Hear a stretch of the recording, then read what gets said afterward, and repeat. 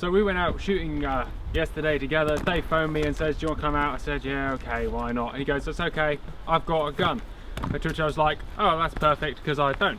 What have you got in the bag, Dave? What did you shoot yesterday? What did we shoot?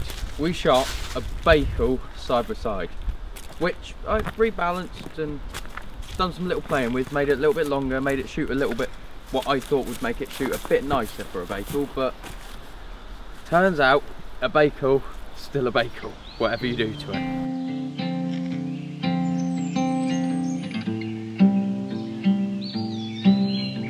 Here's your sports fans, the Baikal of the weekend, the IG58. IJ58. Something, UM. Doesn't matter. Doesn't matter, it's a Baikal. Let's see where it shoots. Um, Uh, so the premise of this video is based around that we eventually, by the end of the course, got quite good with this. And it's nothing to do with gun fit, because we were looking right down this rib. We found out we haven't shoot about two or so foot below stuff and to the... Doesn't matter. We don't think this gun shoots where the rib points. And we both kind of concur on this. There's paper behind us.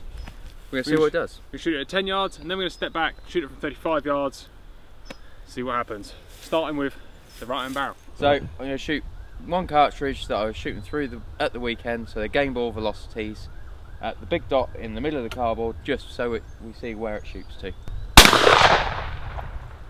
Well, that went very, very left. So let's try out the left-hand barrel on the next target. We'll move on over. We'll test out the left-hand barrel, activated by the rear trigger on this gun. Uh, see where this one goes. A little bit high, but nothing horrendous. That would explain why on a 40 yard crossing target I was shooting four foot below it. Let's have a closer look. No, start with left hand barrel. So Dave, you were aiming right there at 10 Yeah. yards. The centre pattern is 11 inches left and 5 inches high. Yeah. Cool man. That explains a fair bit. Explains all your first shots. Let's go look at your, Yeah, your left let's hand have a look at the left. So this one is a touch left, but mostly sort of seven inches high, We'll forgive the leftness. and is ovular. Right, that's ovular. Anyway, Yeah. but you did say, and this is interesting, you did say I'm shoot, going to shoot my left barrel first for the back half of the course because you trusted it more. Yeah. And you, so you're probably right there. Let's go shoot these at 30 meters Yeah. and draw some conclusion. So another little point I'd like to add about this gun, halfway through the round, so it probably put about 50 cartridges, we were sharing the gun. One of the ejectors broke, just stopped working altogether. Um, another great, great add-on to a Baikal.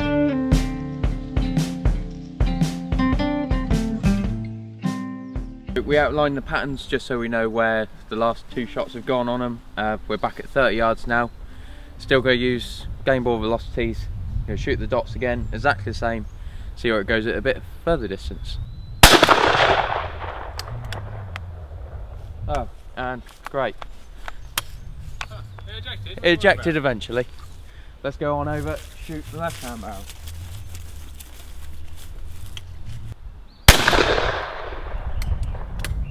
So if we look at the new, so this is our old pattern here, our little oval, and if we look at our new pattern, which kind of comes around here, A, it just catches our target in it, but I say catches by about nine inches, just, just. But most important, it's probably worth bearing in mind that this this is four foot across. That pattern is probably a six and a half, seven foot pattern Yeah. at 35 meters and we are just inside yeah, just just. that's like we're cutting the ten, edge 10% I feel better let's look at the other one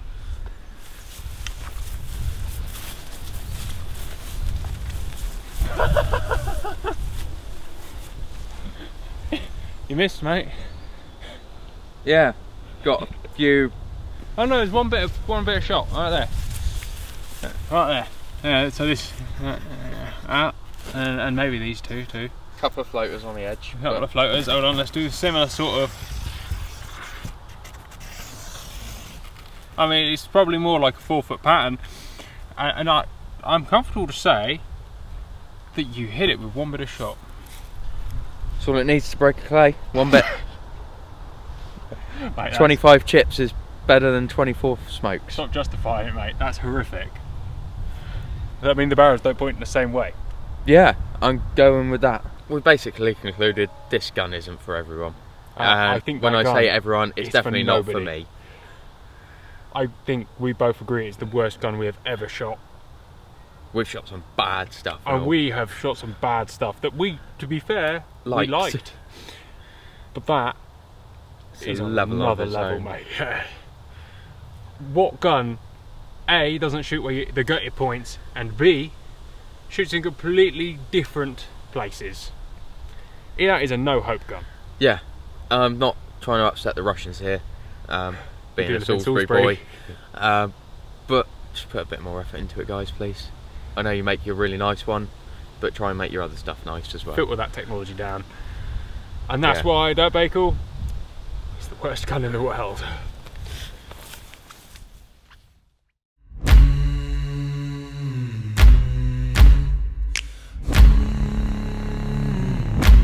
Hi guys, welcome to the gun shop.